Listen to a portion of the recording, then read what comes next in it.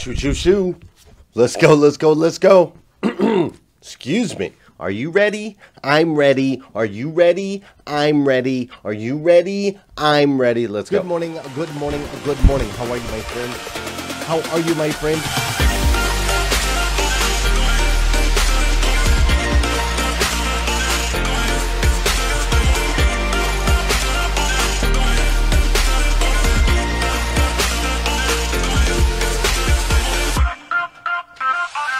See, there's no excuse for you not pushing yourself to the next level. In order for you to create a new you, you must have a new mindset. When teams come together, we can create things that are greater than the sum of all of their parts.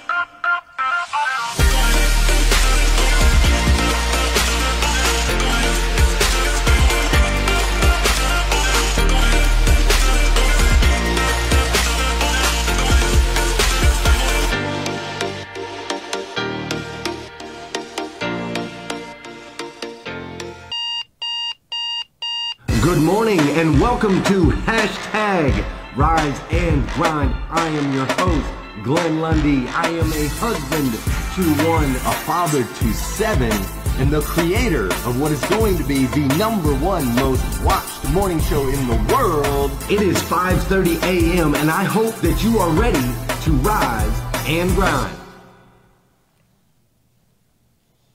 Good morning, good morning, good morning. How are you, my friend? How are you, my friend? Dude, today is Wednesday, I believe Thursday. Yes, today is Thursday, December 3rd, 2020. That's right, crazy, man. Thursday, December 3rd, 2020. And what's crazy is today is the very first and the very last time it'll ever be Thursday, December 3rd, 2020. So I want to make sure we make the absolute most. My hair is a mess. Make an absolute most of this absolutely beautiful, beautiful day. I got to tell you, man, my poor wife got introduced. I didn't realize how crazy you and I were right? Like sometimes you don't realize how crazy you actually are. But I did realize this morning, for some reason, my daughter was up. My uh, youngest daughter was up super early. She got up when I got up, which was at 3:20 this morning. She was not able to go back to bed. So when I came upstairs after doing my, you know, my gratitude, my goals, writing out my show, doing all of those things, I come back upstairs. It's 4:20 in the morning,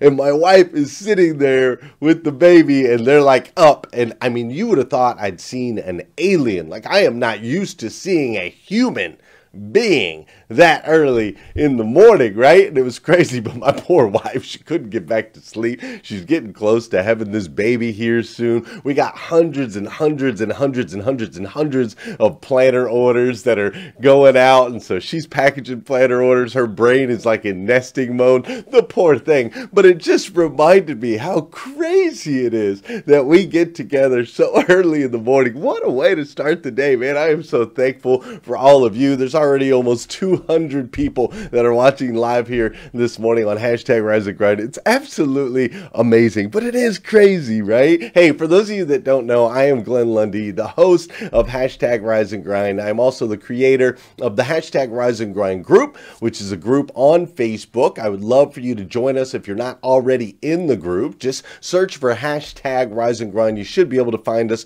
We're over 30,000 members strong, and this is a place where you're going to find nothing but motivation, education, and inspiration. You won't find anything else in there. I promise my moderators make sure that it's so. So we'd love to have you. If you're listening on the podcast, welcome. Come join our group on Facebook. Also, if you're watching on YouTube, glad you're here. Drop a comment, connect with me, hit a like, hit a smile, any of those things so that I know you're there because that's what it's all about. It's all about me and you connecting, not me just sitting here talking every day for 30 minutes. It's about those relationships. Listen, this week we've been an incredible in this week we've been in an in an incredible. That's a hard thing to say together, right? In an incredible, right? This week we've been in an incredible series about African culture. We've been learning all about African culture. We learned about this incredible word, Ubuntu, which means I am because you are, and ultimately talks about our responsibility and ability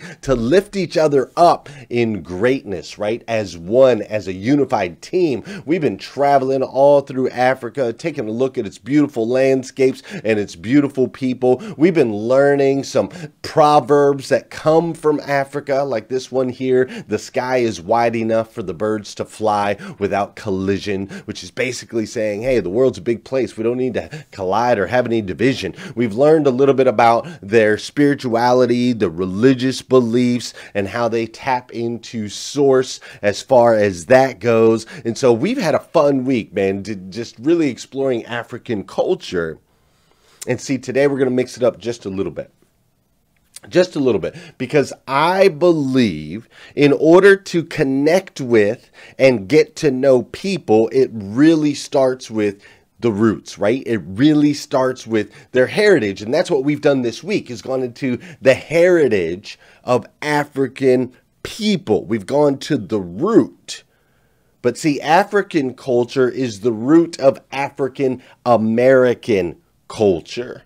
And that's what I want to dive into today. I want to dive into some African American culture, a little bit more modern. How does these things that we've learning, how do they play into who Africans are today in America, right? The country that we live in and how these traditions and the roots and the places that they've come from over hundreds and hundreds and thousands of years, literally ancestrally, how they apply and affect who we are today. So that's what we're going to dive into today, some African American culture culture. It's going to be super fun. Uh, it's also going to be super informative, and there may be some stuff in here that maybe you don't want to see or maybe you don't want to talk about. But I am here because you and I have a relationship where we motivate, educate, and inspire. That's what this show is all about. Motivation, education, inspiration. And that's what you're going to get today is you're going to get a little bit uh, all of that. Some motivation, some education, and some inspiration. Before we dive in though,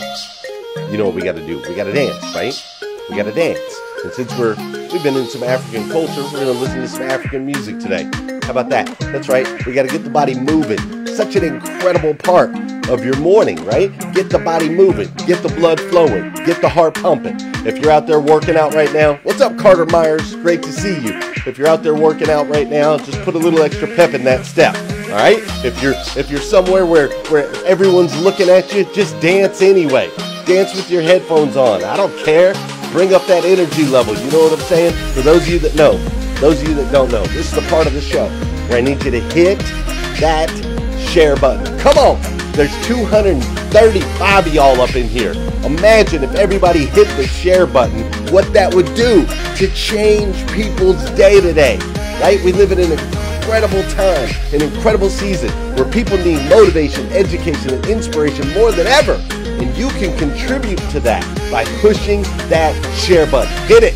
Hit it right now. Hit that share button. Also, hit a like, hit a smile, hit a heart, do whatever. Let me know that you're here. Let's check in. This is also the part of the show where I'm going to say good morning to you, Sean Jones, and you're going to say good morning to me. What's up, Spencer Tarasi? How you doing, young Darius Johnson? What's up, Martin Haggard? Great to see you again. What's up, John Gayheimer? We got Michelle Gravely's up in here this morning. Jeff Baker, Tracy Shepard's in the house. Emily Gowler, Kim Fair, Marilyn Wilkins, John Coltonborn, Gail Beecraft, Karen Simpson, Jean Paul Gidry. What's up? Ray Hatcher, if you're new here, you gotta drop a comment. There's 253 people on live right now. If you are new here, drop a comment. I want to say good morning to you. What's up, Janelle Griego? We've got Tabitha in the house. How you doing, Alita? Janet Dyer's up in here. Tabby Nigert, Christine Baird, Eddie Brown, Judy Anderson is in the house. What's up, Bruce Miller out there in New Orleans? What's up, Michael Guthrie? Tabitha Wells is in the house. Vicky Everett, James Gavin, Melvin Rodriguez, Sherry, Denise, Shaquette. What's up, Kim Wilson? We've got Mike Overfelt in the house. Jeremy Noling's up in here. Suzanne Wall. This place is packed. Packed house. Linda Labons is up in the house this morning. Love it. Julio Soto, Eddie Brown, everybody's up in here on hashtag Rise and Grind. Let's dive in. It's going to be a super fun series. Before we do, though, in case you didn't know, the new 2021 planners are out. I need you to go get your one.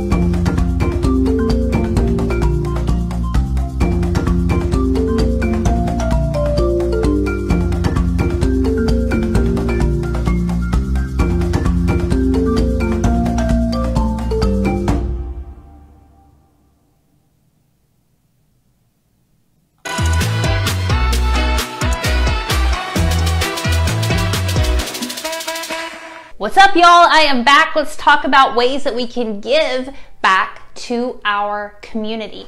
Why am I talking about this? Well, this week we're talking about African traditions and ways that people celebrate Christmas in Africa. Again, I checked out these ladies' awesome YouTube channel who gives so much history and knowledge around African culture, and their goal is to represent Africa positively through their platform. And I learned so much about Christmas time in Africa, and the main takeaway that I had was that in this culture, Christmas is not just celebrated with your own personal tight knit family and friends, but it's celebrated as a community. And there's even community gifts that are given. Everyone celebrates together. And I thought that we could learn from that, pull something from it, and figure out ways that this year, even if it's one idea, ways that we could get involved in our community and bless our community, especially during such a difficult year. I'm giving you 12 different ways. Last time we shared six, and I have six more for you today. This one any of us can do. It only take a second.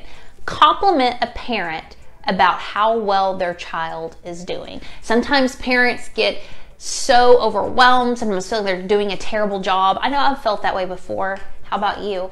Hearing a nice compliment from someone that says, Hey, I think you're doing a great job. I really appreciate your child. Maybe they're so well behaved, or and you should be so proud of them. You're doing a great job, mom. You're doing a great job, dad. Such a small thing that can make such a big difference. Here's a really unique idea, kind of different. Get first aid certified. Learn CPR. Now, why would you do that? How's that going to bless your community? You never know when you're going to be out at Aldi's and somebody be choking and you be helping them and you got your first aid certification you be blessed in the community that way. All jokes aside, this is such a responsible and kind thing to do that if you have not, even if you don't have to, go ahead and take a day, learn this certification. You never know whose life you're going to save. Here's a fun one. Have you ever been to a laundromat? I know I have. I know I've spent a lot of time in the laundromat when I was younger. My mom didn't have a washer and dryer. I spent hours there. There's so many people who are at the laundromat during this holiday season Maybe their washer and dryer went out. Maybe they don't have one. What if we left care packages for them? You could leave quarters, you could leave laundry detergent, you could leave some snacks, whatever it may be, a kind note. Can you imagine being by yourself, spending hours there, and getting that from a stranger? You can't afford something like that, you can even just leave a couple of quarters. Take baked goods to a fire department or a police station. Again, you might need to call ahead of time and say, listen, got the you know what but I want to bring some snacks up there, call ahead and see. That would be so appreciated and no bless them. Along with the laundromat gift packages, also to emergency rooms. Isn't that a unique idea? I saw that online. You can put together care packages and leave for those who are waiting in the waiting room during this holiday season. What a cool idea, huh? And lastly, we're gonna get a little old school here shovel somebody's drive. I know you had to be doing that as a kid, but we can still do it as a grown up. Or better yet, you can send your children, tell them to go outside and bless somebody. You know what I'm saying? That'd be blessing you, that'd be blessing the neighbors, and get the children, get some energy out. You're welcome. I hope these ideas inspired you. Do one of them. It only takes a second, and we can learn from the African tradition to use Christmas as an opportunity to not only love and be with friends and family, but also extend ourselves out into our communities because we are all in this together.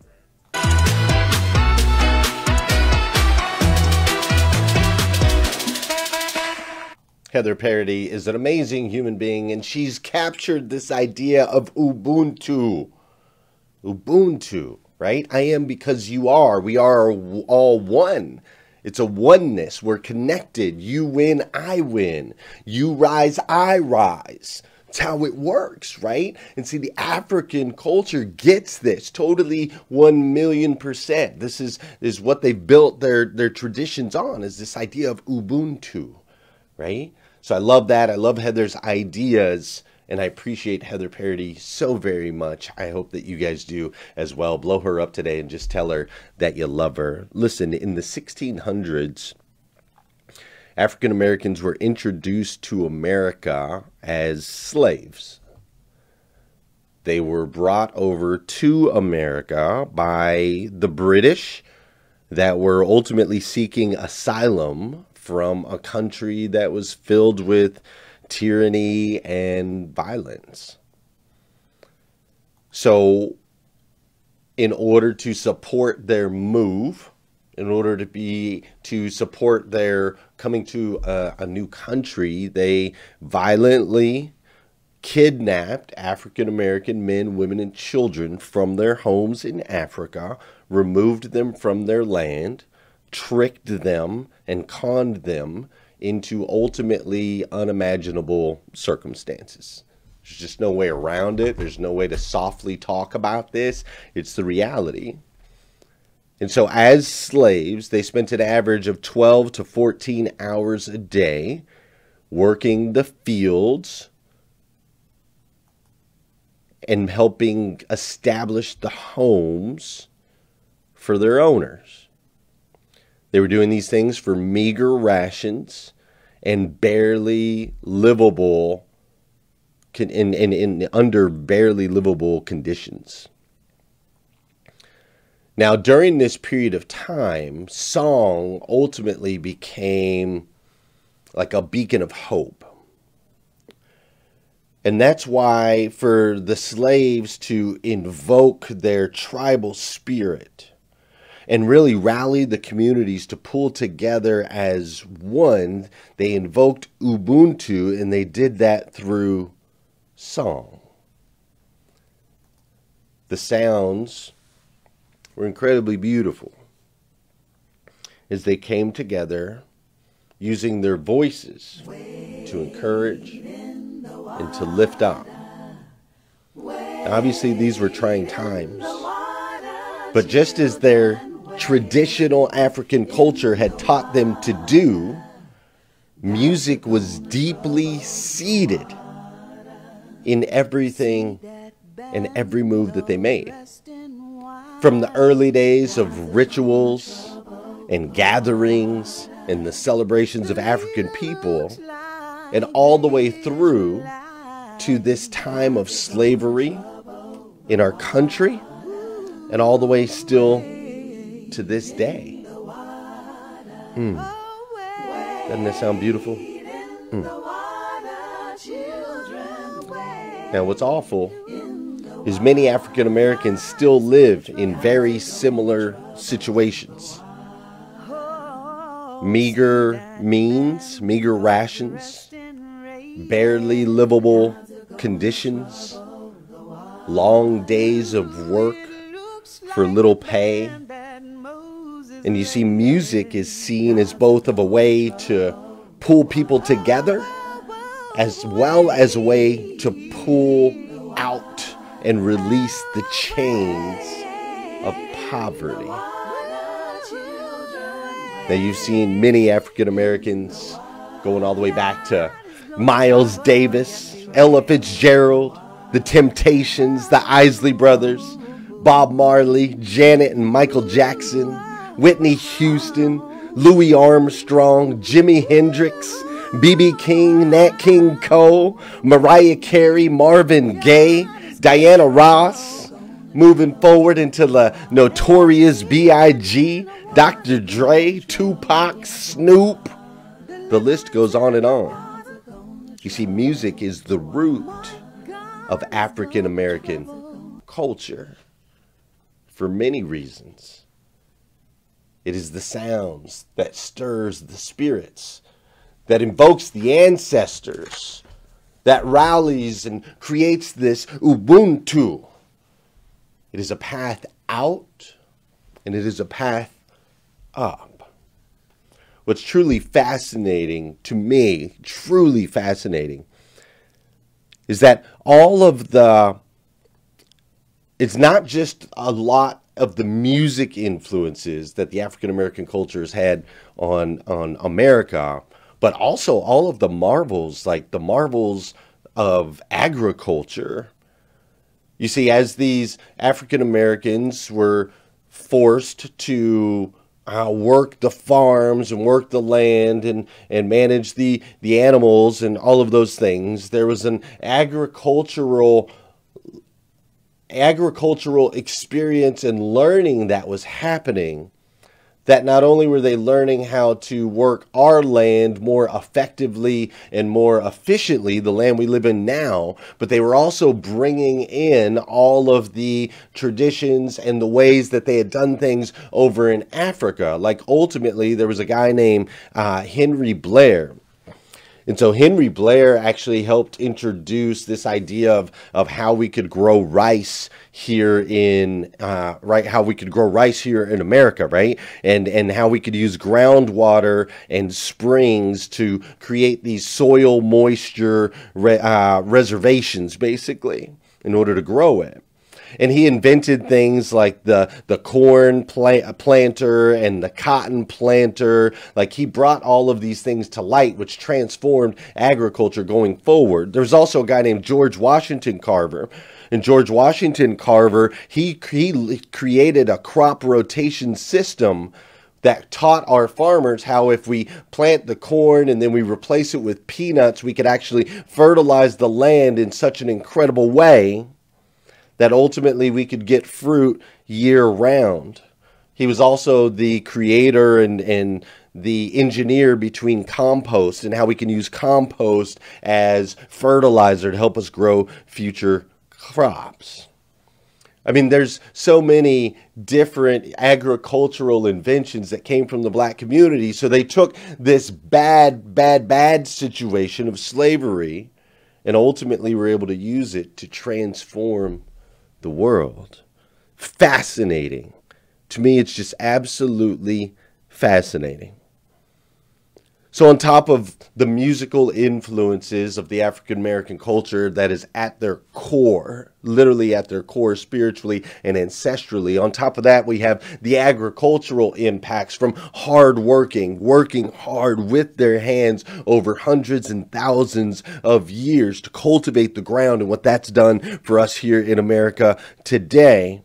But on top of those, the fashion and style that has come from the African culture, the color that has been injected into the United States of America is is off the chain. You see, fashion and color is traditionally a huge part of African American culture and even African culture behind that. You see, we've been adding vibrant colors and whimsical designs to an otherwise, you know, let's just say it, it was kind of a mundane, black and white, boring way of life. you see, all the seeds that were planted in the traditions of the of the colors of the African cultures that were brought over here and have been that have evolved over time have created this colorful world that we live in. It's so incredibly impactful.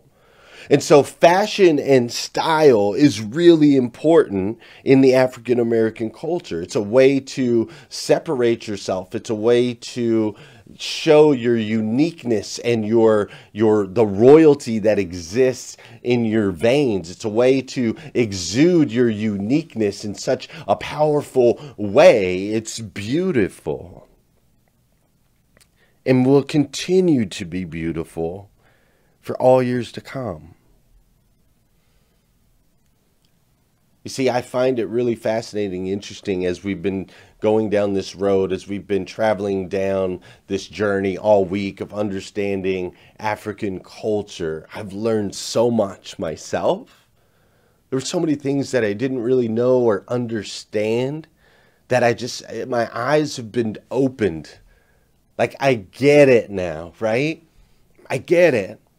Because, see, ultimately, who we are today the decisions that we make, the way that we walk, and the way that we talk. It was all built and designed over hundreds and thousands of years of tradition that culminates to where we are now. Now, within that, seemingly, we have allowed these uniquenesses, these differences in our roots to cause division. But the more I look at it, the more I see the unity that is created by it. It is so beautiful. Next week, we're going to travel over to Asia. We're going to learn more about Asian cultures, and we'll bring that back to Asian American cultures as well. The following week, I think we're going to, uh, to to India and then Tibet, right? And we're gonna we're gonna learn all these different things. But ultimately, the message this month and the message I want you to take away with today is there is so much beauty in the blended, my friends. There is so much beauty in the blended. Get around people that don't look like you. Get around people that believe things that are different than you. Get around people that will disagree with you and get around them in a way of Ubuntu, where we are all one and together we can help each other rise. Listen, my friends, I want you to have a beautiful day today. And if you need more videos like this, you can go to glennlundy.com. Head on over there if you need some more videos. Um, have an amazing day, an over the top incredible day.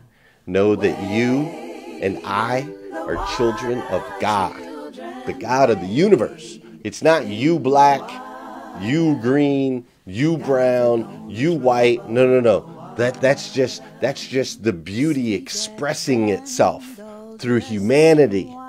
What we all are are brothers and sisters. Brothers and sisters in Christ, the God of the universe. And so I love you. I hope you know that as my brother and as my sister. And the decisions that you're making every single one of them. A decision to go out and connect with someone that's different than you. A decision to love someone that doesn't believe what you believe. A decision to unite with those that can add value to your life. All of those decisions, they matter. It makes a massive impact on this planet. You matter. So go out there and have an incredible day. I'll see you again tomorrow morning, 5:30 a.m. We're going to do this all over again on hashtag rise and grind. Woo! That sultry voice, boy, killing me.